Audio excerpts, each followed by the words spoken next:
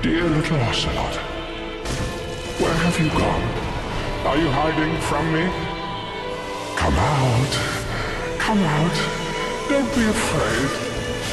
You were born a child of dragons. What could you possibly fear? Now, now, show yourself, Ocelotte. My dear little Ocelotte. Ocelotte!